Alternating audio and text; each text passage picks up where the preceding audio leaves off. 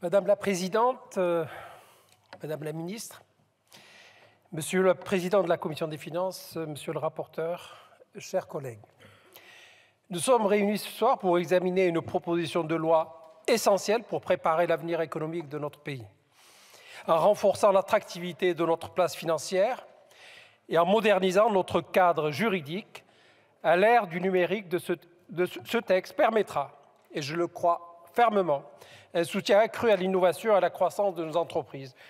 Et j'insiste sur euh, toutes les entreprises petites, moyennes et grandes. Nous faisons face à un monde en totale mouvance, où la technologie euh, redéfinit les marchés et où la compétition internationale s'intensifie. D'autant que l'avenir économique de notre pays et de l'Union européenne devra obligatoirement se construire au regard des défis de financement nombreux et colossaux auxquels nous devons répondre.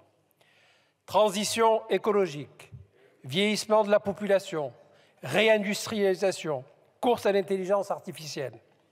Alors cette proposition de loi répond précisément à ces enjeux.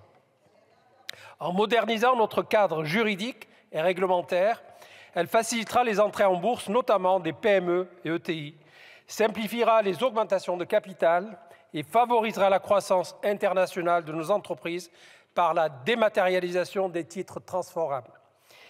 Ces mesures essentielles à la dynamisation de notre économie vont permettre de libérer le potentiel de nos entreprises et de consolider la place de Paris comme première place financière de la zone euro.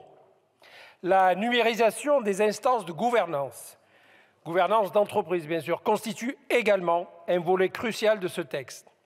En facilitant les procédures et en s'adaptant aux réalités technologiques actuelles, nous favoriserons une meilleure participation et une plus grande réactivité des entreprises dans la gestion de leurs affaires. Alors, face à ces défis, notre réponse doit être à la hauteur des enjeux.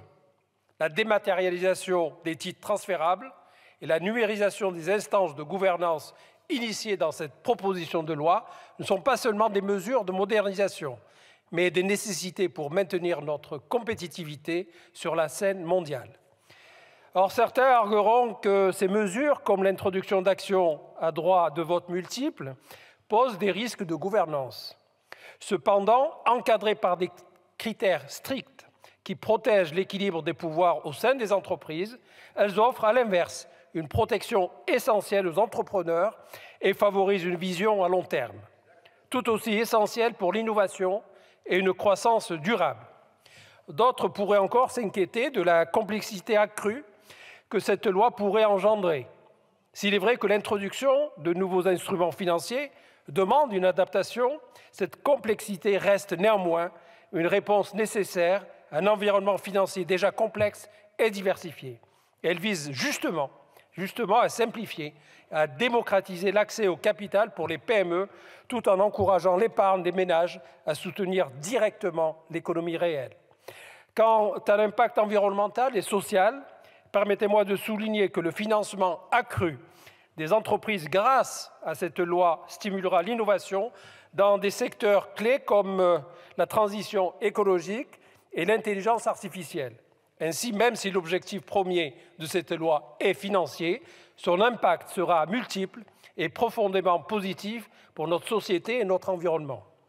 Enfin, pour ceux qui expriment des préoccupations quant à la sécurité juridique et à l'adoption rapide de ces mesures, je rappelle que l'harmonisation avec les standards internationaux et l'avènement de meilleures pratiques sont au cœur de cette proposition. Cela renforcera non seulement la confiance des investisseurs, mais aussi notre souveraineté économique en nous permettant de naviguer avec assurance dans les eaux internationales de la finance. Or, pour conclure, permettez-moi, chers collègues, de souligner également que cette proposition de loi est une opportunité pour la France de se positionner en leader dans l'harmonisation des pratiques financières et la modernisation juridique à l'échelle européenne et mondiale. Il s'agit d'une étape décisive pour assurer l'avenir financier de la France, de ses entreprises et par extension de son économie dans son ensemble. Et c'est pourquoi notre groupe, les démocrates, votera pour cette proposition de loi. Je vous remercie.